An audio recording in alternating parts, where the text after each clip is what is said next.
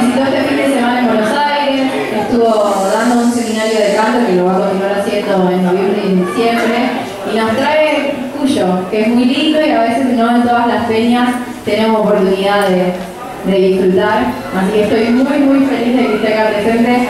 Por favor, un fuerte aplauso para Gabriela Fernández.